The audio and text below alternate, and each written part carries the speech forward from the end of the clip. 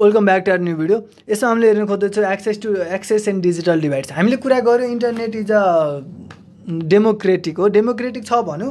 तर त्यो डेमोक्रेटिक पनि सबैसँग एक्सेस छैन भने अब त्यहाँ त्यहाँ बायसिङ हुन्छ। हो? जस्तो internet access have and have nots बिचमा ग्याप छ भने त्यो ग्यापले चाहिँ अब कति धेरै प्रोब्लम पार्छ भनेपछि डिफ्रेन्ट डिफ्रेन्ट सेक्टरमा प्रोब्लम पार्छ। एजुकेसनमा जब एन्ड जब स्किलमा र फ्लो फुल अफ इन्फर्मेसनमा यदि हामीले डेमोक्रेसी हो भनेर डेमोक्रेसी हामीले मेन्टेन गरेका छौँ भनेर भन्छौँ भने equal power power to all भनेका छौँ। More power to less powerful भनेर भनेका छौँ। त्यसरी डेमोक्रेटिक छ भनेर मान्छौँ भने चाहिँ एजुकेसन पनि कस्तो हुनुपर्छ भने एक्सेस टु एजुकेसन पनि इक्वल हुनुपर्छ क्वालिटी अफ एजुकेसन पनि इक्वल हुनुपर्छ।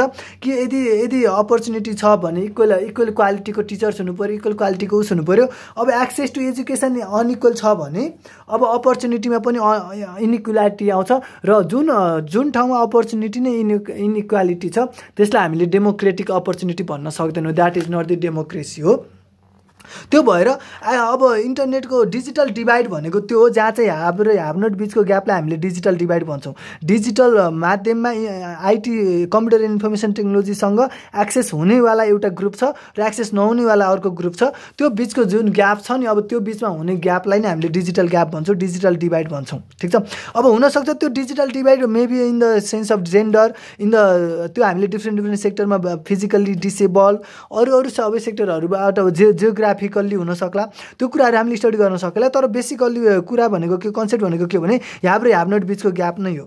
सो यसले कसरी फरक पार्छ भन्दा एउटा एजुकेसनमा फरक पार्यो कि अब इक्वल अनि यसले चाहिँ इन्टरनेट अथवा त्यो चिजको इन्फर्मेसन टेक्नोलोजीले डेमोक्रेसीमा प्रोभाइड गर्ने डेमोक्रेटिक सिस्टममै पनि प्रश्न चिन्ह खडा गर्यो भन्ने कुरा अर्को भनेको जब एन्ड जब स्किल्स हेर भाइ सिधा कुरा चाहिँ के हो भने इक्वल जब स्किल इक्वल जब अपर्च्युनिटी तब चाहिँ छ भन्न मिल्छ। यदि त्यो अपर्च्युनिटी मा भाग लिने पोजिसनहरूको लागि तयारी गरिनुपर्ने एजुकेसन पनि इक्वेली नै गिभन हुन्छ। र अब यो पोजिसनमा अब तिमी आयो नि अब यो पोजिसन लिनेवालासँगको त्यो जुन त्यो क्वालिटी लिनुपर्ने हो त्यो क्वालिफिकेसन गराउनको लागि पनि इक्वेली नै अभाइलेबल हुन्छ भने अनि त्यसलाई चाहिँ ज इक्वल अपर्च्युनिटी भन्न मिल्थ्यो।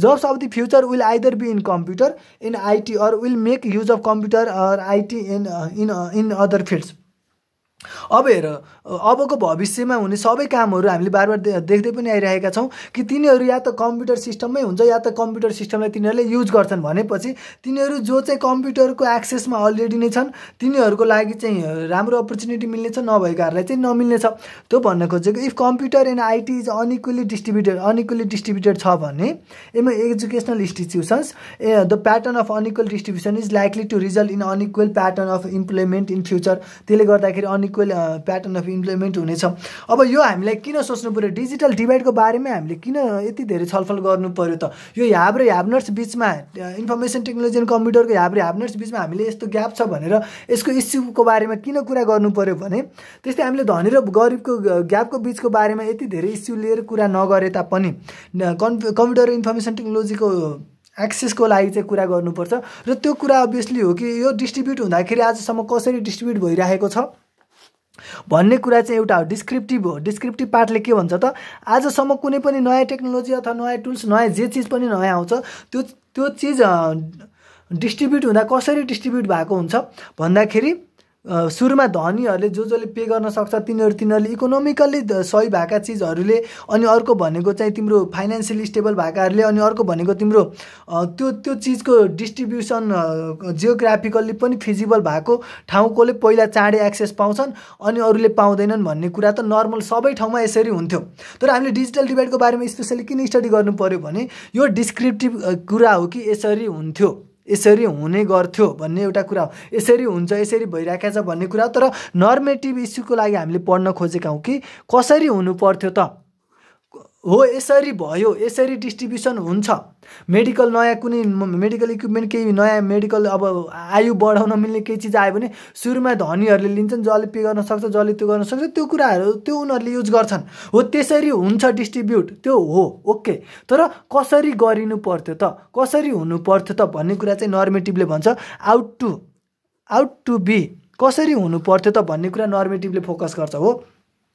त्यही भएर खासमा हो डिजिटल डिभाइड छ तर एजुकेसनमा यसले यस्तो असर गर्छ है। त्यही भएर यसरी हुनु पर्थ्यो यदि हामीले डेमोक्रेसीलाई इन्स्योर गर्न चाहन्छौँ थ्रु इन्टरनेट भने इन्टरनेटले डेमोक्रेसीलाई गरेकोलाई हामीले इन्स्योर गर्न चाहन्छौँ भने यसरी गरिनु पर्थ्यो है भन्ने कुरा हो। अब हामीले डेमोक्रेसीको कुरा गर्ने तर हामीले डिजिटल डिभाइड छ र अनि त्यही थिम जब स्किल्समै त्यहाँ थिम चाहिँ अब डिस्ट्रि इक्वल डिस्ट्रिब्युसन छैन आइटी र कम्प्युटर सेक्टरमै इक्वल डिस्ट्रिब्युसन छैन भनेपछि त्यसले अब भोलिको इम्प्लोइ अपर्च्युनिटीमा पनि इक्वल डिस्ट्रिब्युसन गर्दैन त्यसले अनइक्वल प्याटर्न अफ इम्प्लिमेन्ट नै दिन्छ। हो? अब यो कुरा भनेको अब अर्को कुरा आइटीको एक्सेस इन्टरनेटको एक्सेस सबैसँग छ नि। राजा भनेर भन्दैमा चाहिँ हुँदैन। जस्तो इन्टरनेटको एक्सेस भनेको इन्टरनेटको एक्सेस जुन छ यो digital divide this is inherently dependent on the access to the hardware and software hardware and software computer system information टेक्नोलोजीका hardware र सफ्टवेयरहरू जे छन् तिनीहरूकै पनि एक्सेसमा पनि भर पर्छ। जस्तो हो इन्टरनेट मैले मेरो मोबाइल लिएर गएर नेटवर्क भएको ठाउँमा गएँ भने त मैले मोबाइल चलाउन पाउँछु। तर त्यहाँ बसेका ती ती व्यक्तिहरू जोसँग अलरेडी नै यी योसँग एक्सेस छैन भने चाहिँ योसँग नै एक्सेस छैन भने तिनीहरूले इन्टरनेटको एक्सेस त पाउने नै भएन नि त। This is the means to access internet हो।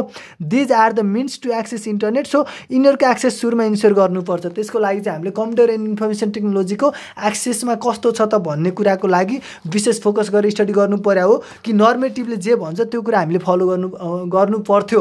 खासमा यसरी हुनुपर्छ है। कसरी गर्ने? वी नो स्टिल कि हामीले कसरी चाहिँ इक्वल डिस्ट्रिब्युसन गर्न सक्छौँ त? अनि अर्को कुरा भनेको हामीले त्यो एकछिनपछि हामीले डिजिटल डिभाइडलाई कसरी इन गर्ने नेपालको कन्टेक्स्टमा भन्ने कुरा नि छलफल गरौँला। सी अर्को भने full of information full of इन्फर्मेसनले decision मेकिङमा इन्फ्लुएन्स पार्न सक्छ जसले गर्दा पोलिटि पोलिटिकल इक्वालिटीमा पनि फरक पार्न सक्छ जसको चाहिँ अब फुल अफ इन्फर्मेसन इन्टरनेटको थ्रु राम्रो भएको छ उसको चाहिँ अब धेरैजनासँग गएर उसको पोइन्ट उसको पोइन्ट अफ भ्यू चाहिँ सबैतिर बुझ्न सक्छ। अब यसलाई हामीले एक किसिमले हेर्ने भने बालिनको इलेक्सन विनलाई पनि हामीले लिन सक्छौँ जहाँ चाहिँ उसको फुल अफ इन्फर्मेसनमा चाहिँ सोसियल मिडिया अनि गएर ती इन्टरनेटहरूको युजले पनि के गर्यो त हेल्प गर्यो।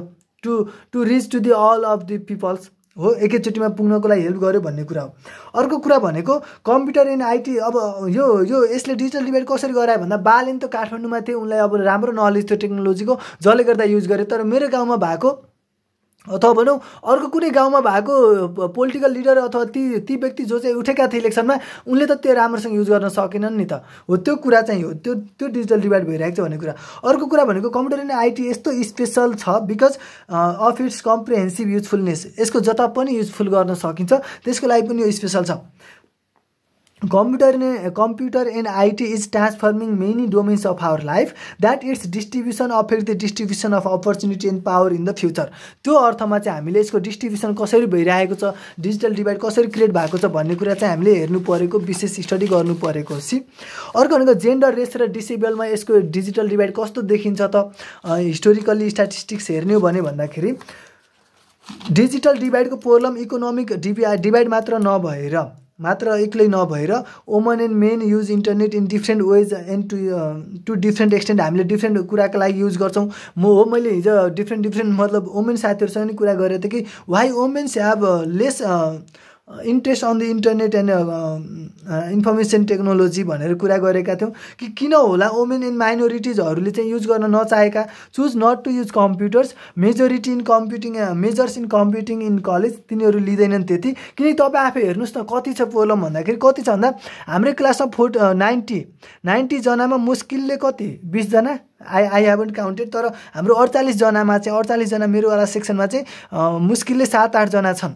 हो सात आठजना गर्ल्स छन् भनेपछि बोइज भर्सेस गर्ल्स रेसियो कति छ त? Gender males women versus men ratio कति छ त? यो यो यस्तो यस्तो लफडा छ। खासमा यो लफडा सुल्झाउन हामीले के के गर्न सकिन्छ? यो डिजिटल डिभाइडलाई हटाउनको लागि भन्दाखेरि अब सुरुमा त डिजाइन अफ टेक्नोलोजी चाहिँ इको फ्रेन्डली गराउनु पऱ्यो eco friendly in the sense कि युजर फ्रेन्डली भनौँ अझ कि ताकि उनीहरू पनि मोर एन्ड मोर एट्र्याक्टेड गराउन सकोस्। अर्को भनेको डिजाइन अफ वर्क प्लेस चाहिँ सेक्युर गराउनु पऱ्यो सेफेस्ट गराउनु पऱ्यो ताकि तिनीहरूले त्यहाँ चाहिँ सुरक्षित महसुस गर्न सकुन् कि yes they they are attracted to this अनि अर्को भनेको पब्लिक डिपिक्सन अफ कम्प्युटिङ कि यो भने यस्तो फिल्ड हो भनेर बुझाउन सक्नु पऱ्यो पब्लिक अवेरनेसको कुराहरू गर्नु पऱ्यो अनि एजुकेसनको कुराहरू गर्नु पऱ्यो र अनि त्यो एक्सेसिबल बनाउनु पऱ्यो डिस्ट्रिब्युसन इक्वेली गराउनु पऱ्यो भन्ने कुरा हो। पर्फेक्ट अर्को नेपालको कन्टेक्समा डिजिटल डिभाइड हटाउनको लागि के कस्तो गर्न सकिन्छ भने एउटा हुन्छ एउटा हुन्छ मतलब गभर्मेन्ट सेक्टरले नै इन्टरनेट फेसिलिटीहरू चाहिँ आफ्नो सिटिजनसम्म चाहिँ पुर्याउनको लागि डिफ्रेन्ट डिफ्रेन्ट सेक्टरसँग कोलाबरेट गर्न सक्छ हातमा हात मिलाउन सक्छ काँधमा काँध मिलाउन सक्छ र अनि त्यसरी डिस्ट्रिब्युट गर्न सक्छ एउटा कुरा हो। अर्को कुरा भनेको चाहिँ अर्को दुई थरीका हुनसक्छन् मान्छे। एउटा त नपाएर युज नगरेका अथवा न नभएका अर्को भनेको पाउँदा पाउँदै पनि युज नभएको। अब यी गभर्मेन्टको कुराहरू आइरहेका छन् जहाँ चाहिँ हामीले सम्पूर्ण इलेक्ट्रोनिक गभर्मेन्ट मतलब गभर्मेन्ट सर्भिसेसहरूलाई चाहिँ अनलाइनको थ्रु इन्टरनेटको थ्रु प्रोभाइड गर्ने कुराहरू आइरहेका छन्। भने त्यो कुराको लागि त सबै इच एन्ड इच इन्डिभिजुअल इन्टरनेटमा अभाइलेबल छ भन्ने कुरा डिजिटल डिभाइडलाई हामीले डिजिटल डिभाइडलाई हामीले जिरो नियरली इक्वल्स टु जिरोतिर हामीले इम्प्लाइ प्राइज जिरोतिर पुर्याउन नसक्दासम्म त ई गभर्नेन्टकोलाई हामीले इन्फ्लुएन्सियल्ली इक्वल्ली दिन सक्दैनौँ यसको सर्भिस प्रोभाइड गर्न सक्दैनौँ त्यो अर्थमा पनि हामीले अब यो यो दुई दुई थरीका हुन्छन्। एउटा चाहिँ आफैले चुज गरेरै इन्भल्भ हुन नचाहेकाहरूलाई कसरी गराउने त? फर इक्जाम्पल एउटा राम्रो इक्जाम्पल हो online payment online payment cashless हुनुपर्छ अनलाइन पेमेन्ट जानुपर्छ भनेर भन्दै गर्दाखेरि सबै यसको युज गर्नमा इन्ट्रेस्टेड छैनन्। त्यसो भए तिनीहरूलाई अब कसरी चाहिँ इन्क्लुड गराउने? तर अनलाइन पेमेन्टमै भएको यो डिजिटल डिभाइड जे छ त्यो कुरालाई कसरी फुलफिल गराउन सकिन्छ त भन्दाखेरि अनलाइन पेमेन्टको इसेन्स बुझाएर अनलाइन पे पेमेन्टप्रति उनीहरूलाई ट्रस्ट वर्दी बनाएर ट्रस्टफुल बनाएर चाहिँ गर्न सकिन्छ। त्यस्तै गरी आइटी एन्ड कम्प्युटर टेक्नोलोजीसँग सँग चाहिँ हामीले सबै सिटिजनहरूलाई यसको इसेन्स बुझाएर यसको चाहिँ हामीले के त भन्दा ट्रस्ट वर्दी बनाएर अनि यसको युजले चाहिँ कसरी सहज बनाउँछ भन्ने कुराहरू हामीले त्यसरी पेनिट्रेट गर्न सक्यो भने डिजिटल डिभाइडलाई चाहिँ हामीले कम गर्न सक्छौँ। त्यो त्यो ब्रिज चाहिँ ग्यापलाई चाहिँ त्यो ग्यापलाई चाहिँ ब्रिजिङलाई चाहिँ ग्यापलाई चाहिँ फुलफिल गर्न सक्छौँ भन्ने कुरा हो। So thank you so much for watching this video सम्पूर्ण इन्जिनियरिङ नोट्सका लागि काइलाबा डट कम भिजिट गर्नु होला